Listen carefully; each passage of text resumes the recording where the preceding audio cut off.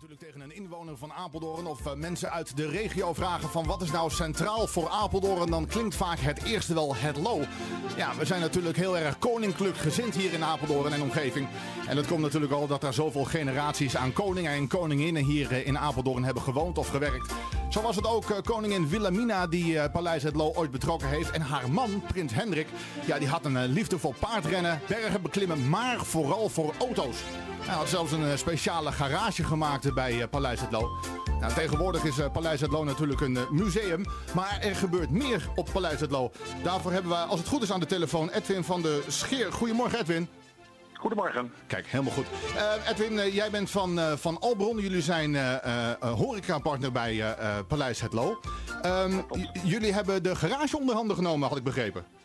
Ja, dat klopt helemaal. Ja, wat, wat hebben jullie gedaan in het garage? Ja?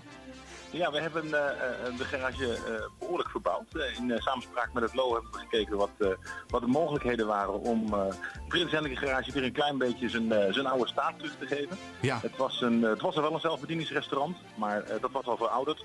Dus we hebben samen met de mensen van het LO gekeken naar de mogelijkheden om de invloeden die, je, die je net al noemt, zeg maar, om die een klein beetje terug te laten komen.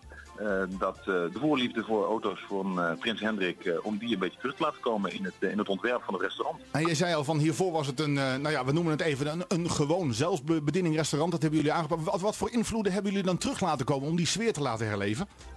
Nou, we hebben een beetje uh, gekeken om uh, uh, um, wel alles te vernieuwen, maar om leuke kleine details vanuit die autowereld terug te laten komen. Als je bijvoorbeeld in het meubilair kijkt, um, zijn de banken die zijn als achterbanken van, van auto's gemaakt. Oh. We hebben een hele mooie tussenwand gemaakt die eigenlijk semi-transparant is, maar waar poelies en, en veesnaren van, van auto's in zitten.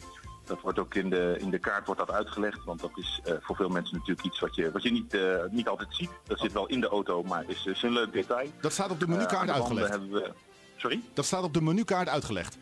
Ja, okay, ja, we hebben okay. een soort storytelling op de menukaart dat mensen dat kunnen zien. Nou, we hebben twee grote eilanden hebben we daar geplaatst. Eén eiland waar, uh, waar de frisdranken uitgegeven worden, de, de koffies en de, en de heerlijke zoetigheden. Uh, dat andere eiland is een food-eiland waar uh, constant een kok in staat om lekkere verse salades te maken, mooie broodjes, leuke warme gerechten. En dat alles wordt dan weer gesigned met um, oude nummerplaten van, van auto's. De bezetten worden aangelicht met koplampen van auto's. Dat soort speelse details hebben we terug laten komen om te laten zien dat het, uh, dat het vroeger wel een garage geweest is. Oh, dat klinkt natuurlijk wel heel erg leuk. Nou weet ik dat er in het verleden natuurlijk in de garage ook echt de auto's van Prins Hendrik wel gestaan hebben. Ben je zelf met een moersleutel wat dingen uit elkaar aan het slopen geweest voor de, voor de inrichting of zijn dat andere onderdelen? Nee, dat zijn, uh, was het maar waar, maar nee, helaas zijn dat andere onderdelen inderdaad. Okay. De echt uh, exclusieve onderdelen die vanuit de auto's van van Prins Hendrik en, uh, en, meerdere auto's van het Koninklijk Huis die staan uh, tegenover uh, de Prins Hendrik garage in de, in de stallen. Oké, okay, oké. Okay. Um, ik, ik, ik, las in het pers, persbericht dat jullie ook tot de, de top 10 beste plekken ter wereld behoren voor een high tea. Wat is nou bijzonder ja. aan de high tea dan? Daar zijn wij heel trots op inderdaad.